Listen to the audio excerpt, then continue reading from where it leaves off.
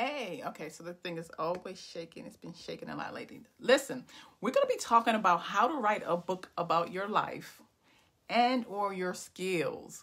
And the reason why I'm talking about this is because there are so many people who ask me on a regular basis and I believe this video is going to help guide you to see if it's something that you're interested in, as well as give you some ideas on some things that you can write about. Because sometimes when people ask me how to write a book about their life, they're not even really sure what they should talk about. Okay, so we're going to go over some things. If you don't know who I am, I'm T Styles. I own and operate the Cartel Publications, which is an urban fiction psychological drama type shot shop or whatever. I'm also a writer. I've written 92nd books as of this month and year. My 92nd book, however, will be dropping in October, so this month. I'm also a coach. I teach people how to build their book businesses through story structure, marketing, and publishing through the elitewritersacademy.com. Um, it's a membership group where I meet with my students and clients twice a month.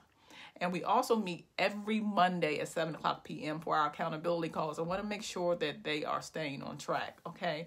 So I'm all things writing, all things story. And I just love sharing my ideas so that I can see people earn a living like I do, um, writing and telling stories that I love. Okay.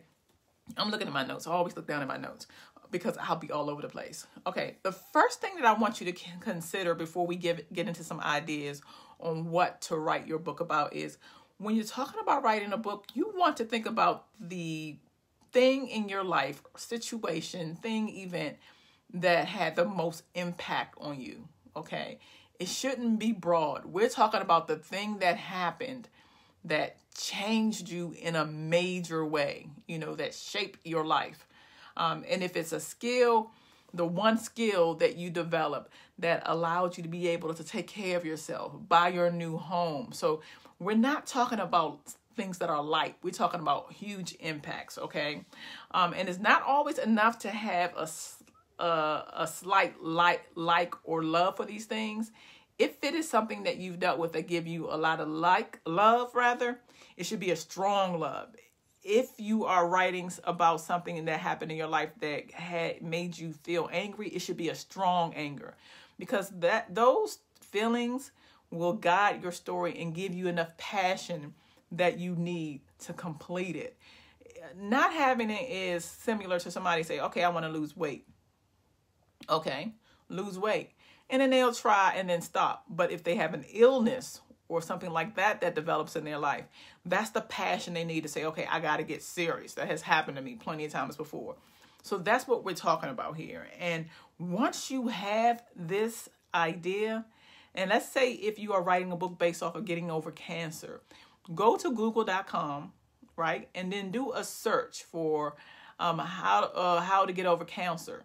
Look up the search terms that are coming up you know so you want to do that because it's going to validate your book idea to let you know you're moving in the right direction for that story. In other words if you write this book based off your life's issue or, or something amazing that happened people are out there ready to read it because of the search terms okay?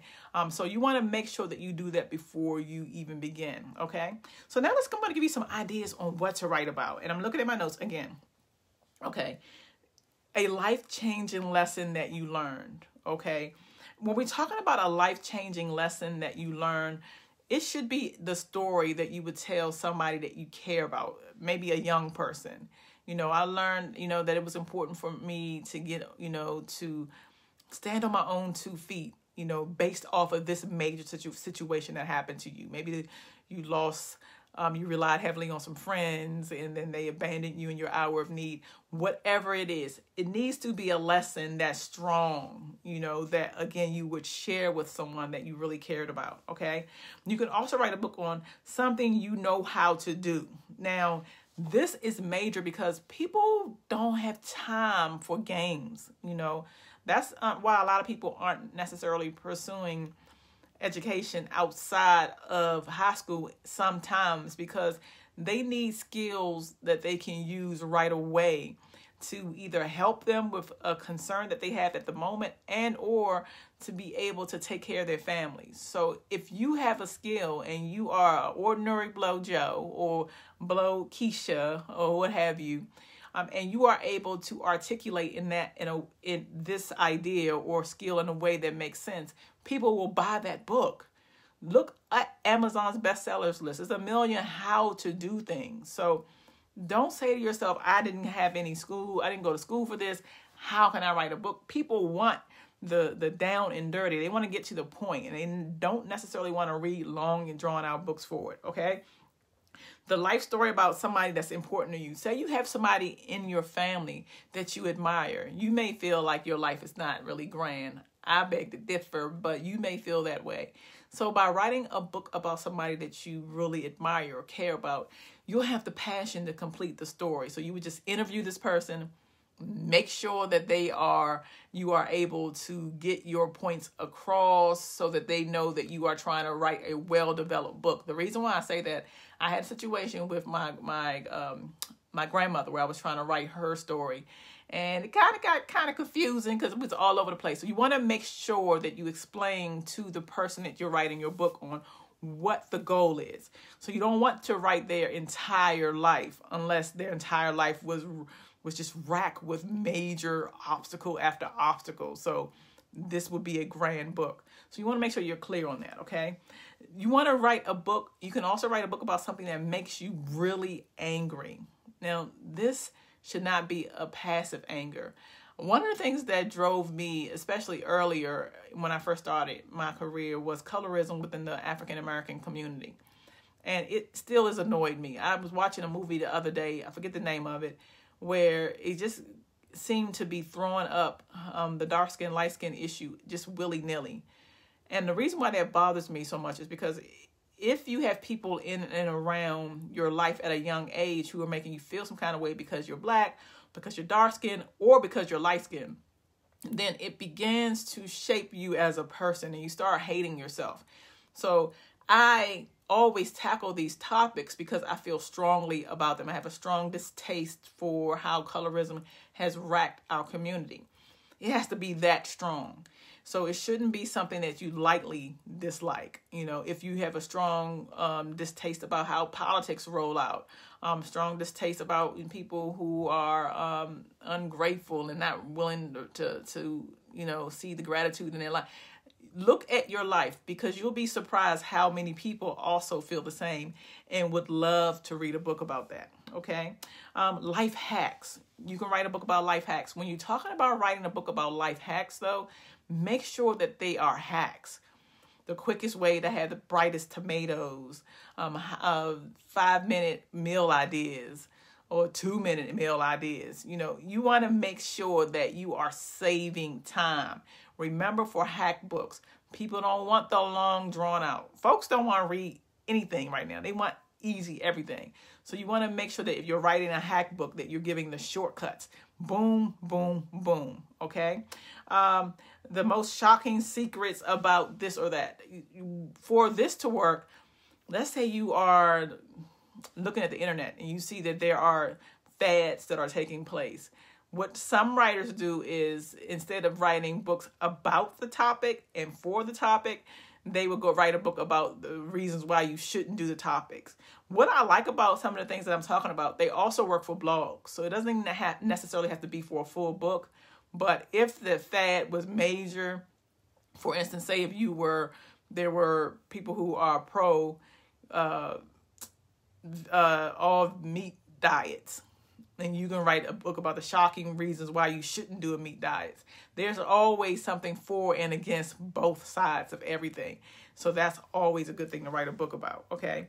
How to find things. So if you have some ideas on how to find the best homes, you know, how to eat meals for free, how to find the, the best places to stay when you're on vacation, people love books like that. They love blogs like that.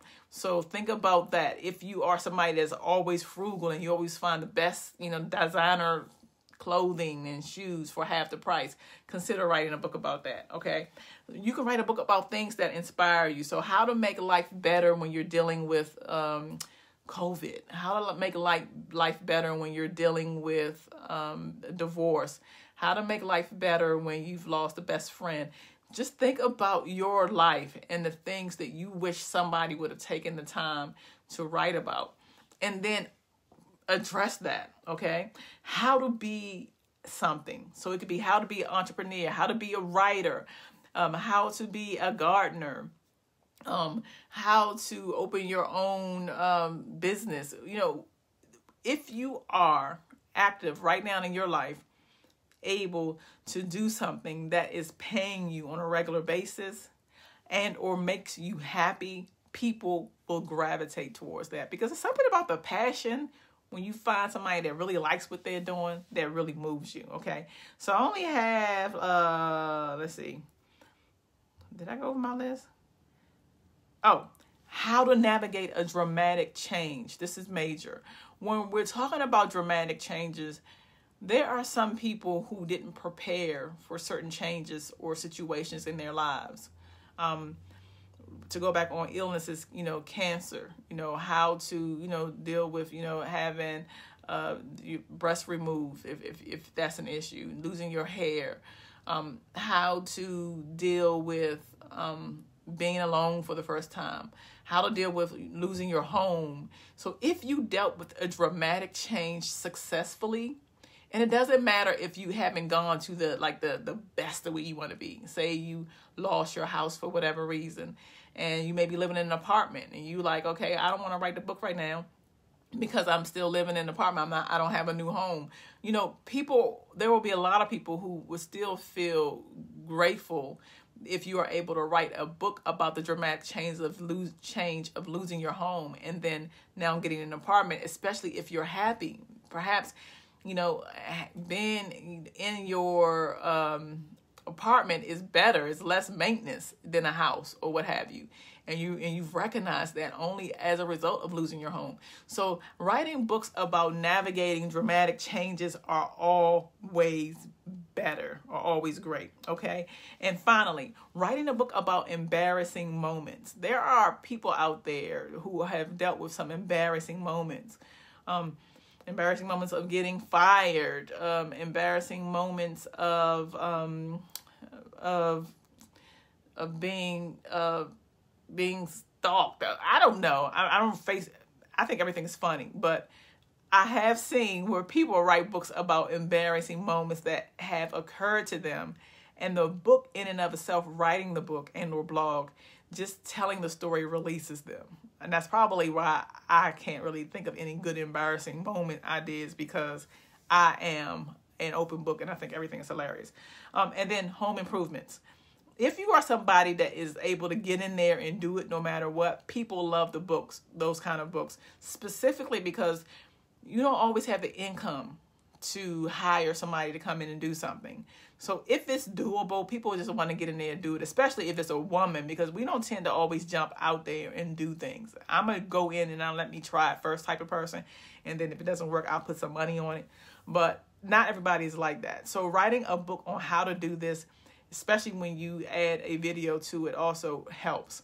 Okay, guys, I hope this helps you. I hope you inspired. Listen, if you are writing a book and it's taking you forever to do it, you need my video course, How to Write a Book in Seven Days Without Writing. The link is in the bio. You do not need to spend 30, 60 days, no more, to write your first draft. You can get these books done. So I have an amazing best-selling course right now that people absolutely love. Uh, once you take the course, join the actual challenge, and get your books done. Okay, I'm T Styles. I really hope you guys have an amazing day, and you know what I'm about to say. Get to writing.